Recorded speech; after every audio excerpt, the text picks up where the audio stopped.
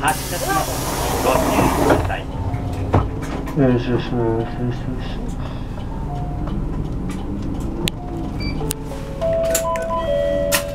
次は国立病院入り口国立病院入り口でございます乗車時にパスも suica など交通系 IC カードをタッチされなかったお客様は乗務員へお申し出ください。